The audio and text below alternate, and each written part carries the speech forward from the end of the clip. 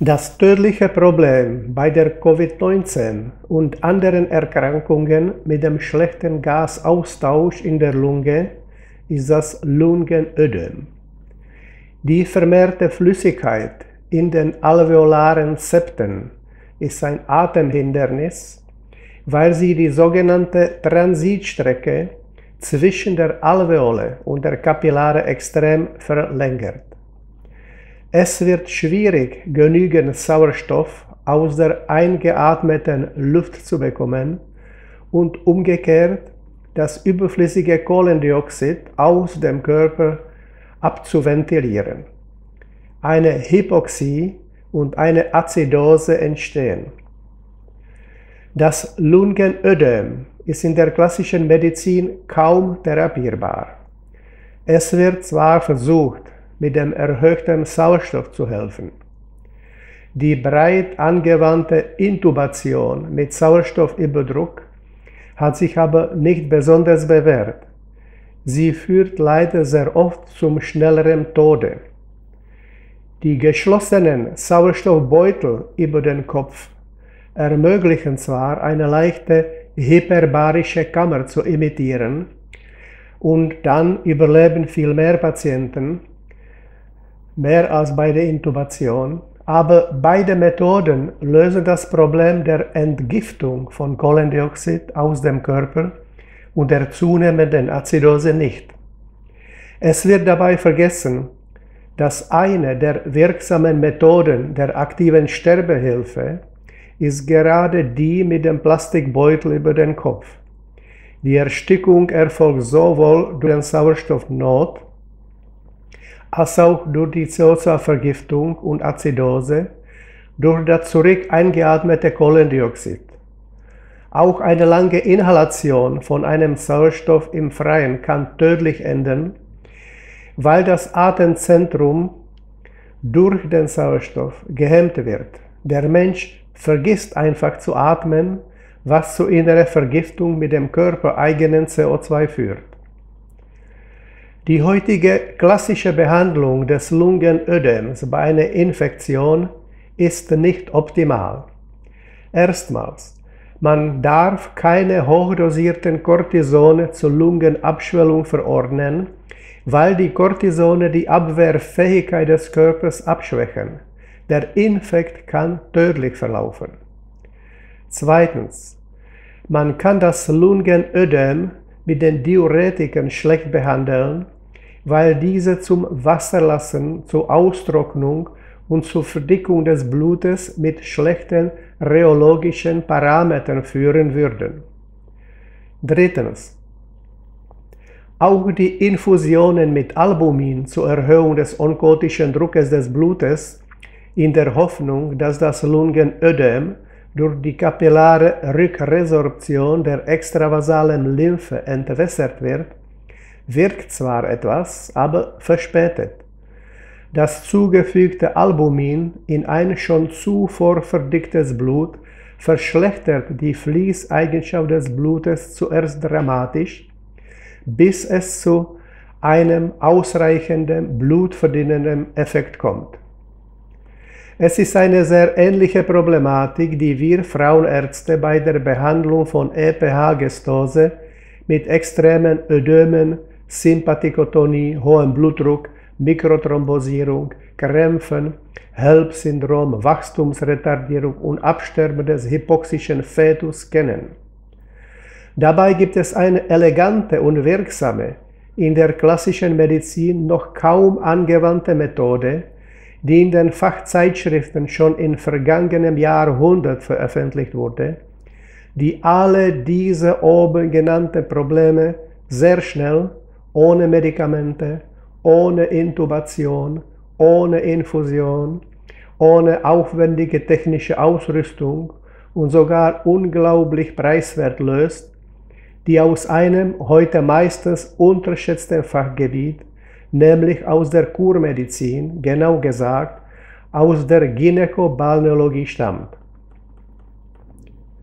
Als Facharzt für Frauenheilkunde, Balneologie, Physiatrie und Rehabilitation ein ehemaliger Chefarzt einer gynäkobalneologischen Kurklinik in Franzensbad in der CSSR mit 550 Betten und später ein wissenschaftlicher Mitarbeiter von Professor Klaus Göke im akademischen Lehrkrankenhaus Luisenhospital Aachen, beschäftigte ich mich mit den Kohlensäurebehandlungen jeder Art seit 1975.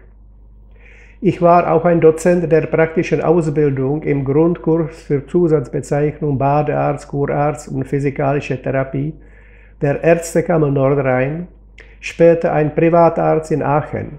Jetzt bin ich nicht mehr in aktivem Dienst.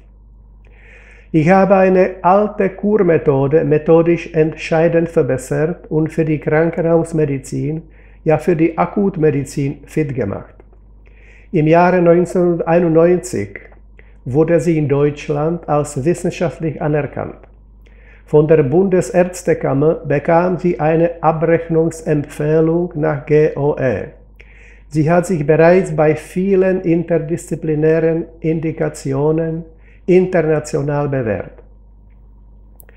Warum wird diese Methode noch kaum bekannt und nur noch selten benutzt? Weil sie viel zu einfach ist weil sie für den medizinisch-industriellen und pharmakologischen Bereich uninteressant ist und weil viele Ärzte, leider auch manche Uniprofessoren, oft geschockt werden, sobald sie ihren Namen hören. Sie lehnen sie aus Unkenntnis ihrer Wirkung sofort ab und machen sich keine Mühe, ihr großes Behandlungspotenzial zu begreifen. Es handelt sich um meine geschlossene Kohlendioxid-Komfortgasbehandlung. Was? Azidotische Patienten mit Gasaustauschproblemen mit Kohlendioxid zu behandeln? Kohlendioxid ist doch ein Gift und ich werde meine Patienten mit einem Gift nicht behandeln. So brüsk lehnte sie einmal ein deutscher Professor der Gefäßchirurgie aus Unkenntnis dem aber gerade diese Methode ungeahnte Vorteile in seinem Beruf bringen könnte. Der Hauptunterschied zu der alten Trockengasbehandlung besteht in meiner Entdeckung der entscheidenden Bedeutung der komfortablen Begleitbedingungen dieser parasympathisch wirkenden regulativen Therapie, wo jeder kleinste Stress eine unerwünschte Sympathikotone-Orientierungsreaktion provoziert die folglich zur Abschwächung der erwünschten CO2-Wirkung führt. Die Komfortbedingungen sind also ein wichtiger Bestandteil meiner Methode und man sollte es auch in der Bezeichnung so formulieren, als die geschlossene Kohlendioxid-Komfortgasbehandlung nämlich. Der Komfort bedeutet bei jeder Trophotropie-Behandlung kein Luxus, sondern ein unverzichtbarer Wirkungsmechanismus.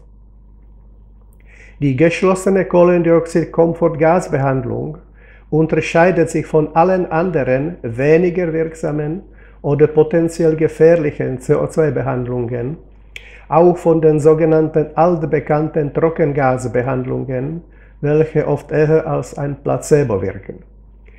Sie ist exakt definiert, um alle Wirkungsmechanismen von CO2 ad Maximum zu potenzieren.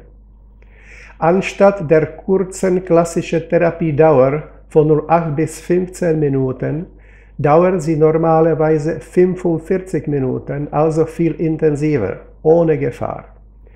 Bei den Lungenödem-Patienten empfehle ich sogar, sie bis auf 90 Minuten zu verlängern, was noch wirksamer, dabei ohne Mehrkosten preiswert und ungefährlich ist. Das steigert sowohl die Intensität und die Dauer der Wirkung als auch die Stabilisierungsphase für die fortdauernde positive Nachwirkung danach. Denn diese regulative Behandlung ist im Prinzip ein Training der gegenregulatorischen Mechanismen, die sich durch die Wiederholung auf ein höheres Niveau adaptieren und als aktive Fähigkeit fortbestehen. Da in der jetzigen Pandemie das Lungenödem zum Tode führt, würde es sich lohnen, die Vorurteile abzulegen, um diese wirksame lebensrettende Hilfe näher kennenzulernen. Ich rate nämlich dazu, die Lungenödem-Patienten mit dem transkutanen Kohlendioxid nach meiner Methode zu behandeln. Dabei werden nämlich alle oben genannten Probleme der Behandlung von Lungenödem-Patienten gelöst. Bei der geschlossenen CO2-Komfortgasmethode wird jegliche Inhalation verboten, weil sie tatsächlich das Problem der Übersäuerung verschlechtern würde. Stattdessen wird das hochkonzentrierte CO2-Gas auf eine möglichst viel Haut für möglichst viel Zeit angebracht. Wie funktioniert es? Im Prinzip handelt es sich um eine intelligente Täuschung des Organismus. Es handelt sich um eine angenehme Behandlung mit Hilfe des an die Haut angebrachten konzentrierten Kohlendioxidgases, was in einem nur einmal aufgeblasenen ganzkörperlichen Plastikbeutel unter Auslassung des Kopfes und Vermeidung jeglicher Inhalation auf einer bequemen Liege in Ruhe im Laufe von 45 bis 90 Minuten geschieht. Der Patient erlebt nur ein leichtes Prickeln an der Haut und eine gesunde Müdigkeit, die sich oft bis zu einem erholsamen Schlaf steigert. Die vielseitigen Wirkungsmechanismen meiner Methode sind gut bekannt, ja spektakulär und seit Jahren bei vielen interdisziplinären Indikationen, bei vielen Anwendern, auch im nichtmedizinischen Bereich unter dem Namen Bioterik international erprobt. Das Kohlendioxid ist ein gesunder Bestandteil unseres Organismus. Sein Mangel durch eine Hyperventilation zum Beispiel führt zu einer Tetanie, die man durch das Atmen in einen Plastikbeutel wieder schnell behält. In Ruhe produziert unser Organismus etwa 350 Liter CO2 pro Tag, um uns warm zu halten. Während der Arbeit produziert er bis zu fünffach mehr. Nur diese überschüssige Menge des Gases muss ausgeleitet werden, nichts mehr. Das CO2 wird normalerweise aus der Haut abgegeben. Erst ab 4 Volumenprozenten des CO2 in der umgebenden Luft wird es von der Haut wieder resorbiert. Seine Menge die nach seiner Resorption transkutan in das Blut gelingt, ist unbedeutend, weil sie im Blut durch die Puffermechanismen abgefangen wird.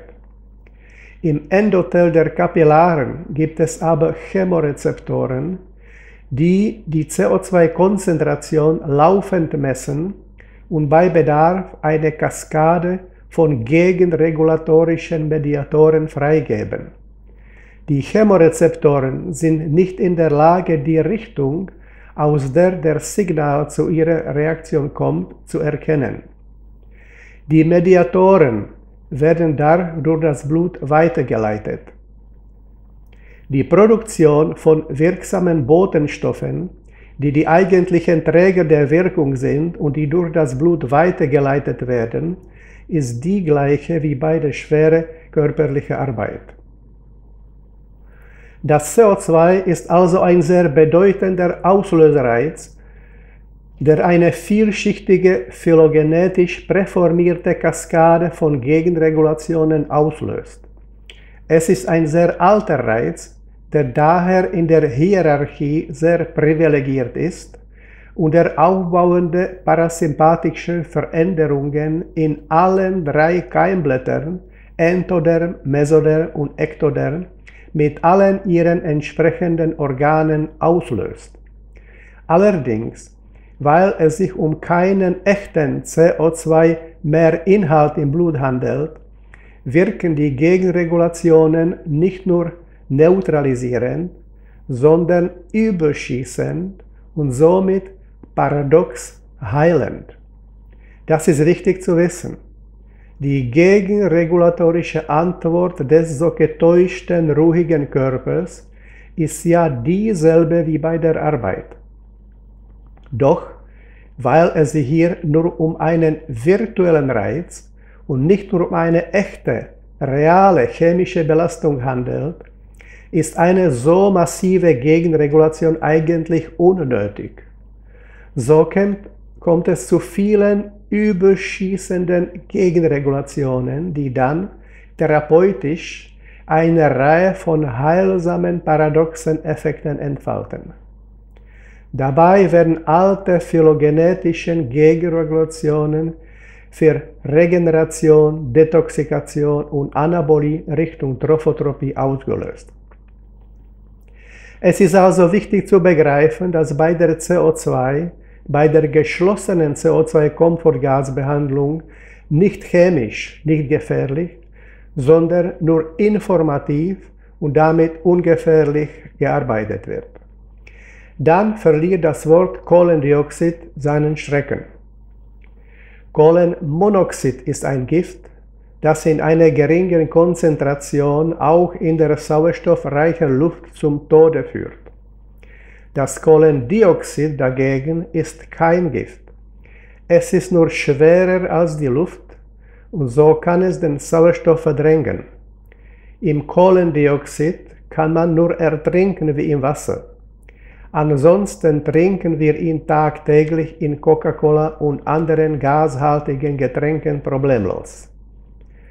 Bei der geschlossenen Kohlendioxid-Komfort-Gasbehandlung wird das CO2-Gas in einer abgedichteten Plastikhülle sicher eingeschlossen, sodass jegliche Gefahr der Einatmung entfällt und keine Dauerüberwachung des Patienten nötig ist.